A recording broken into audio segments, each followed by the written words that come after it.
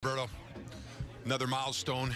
It took a few games, but uh, what does this feel for you? 448th win in your career, now fifth all time in the National Hockey League. Uh, yeah, I'm not too worried about it. I think uh, right now I just uh, just want to get some wins, and uh, obviously, uh, you know, our goal is to make the playoffs. So um, that's what my focus is on 100%.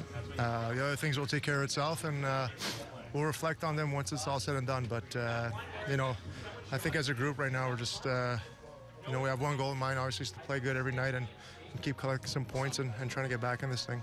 And you got some offense to help you out, especially in the third period. Talk about this performance in front of you tonight. Great plays on the both empty net goals. I mean, could have drew it up better uh, as a team. I think uh, no, we uh, we just played a game. We played a patient game. and We didn't have a lot of turnovers, and I think. Uh, that was part of our game plan. You know, it's it's a road game. Uh, we got a lot of guys out of the lineup, so uh, gotta gotta win ugly a little bit, and I think that's what we did tonight. And uh, moving forward, we're gonna have to do a little bit more of that if we want to be uh, be successful. You had to like the defensive effort in front of you, especially in the third. A lot of swarming around the puck. Yeah, definitely. I think uh, they only had uh, I think uh, six shots before the last minute, so uh, it was a great effort. I thought uh, our third guy did a great job uh, of staying high and, and uh, eliminating odd man rushes against, and uh, you know whatever they had, it was it was mostly from the outside. So um, I kind of like those games.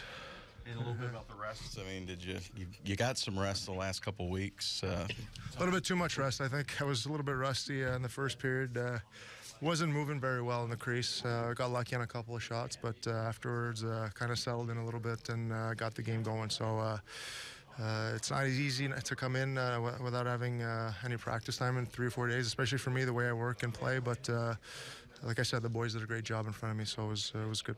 Thank you.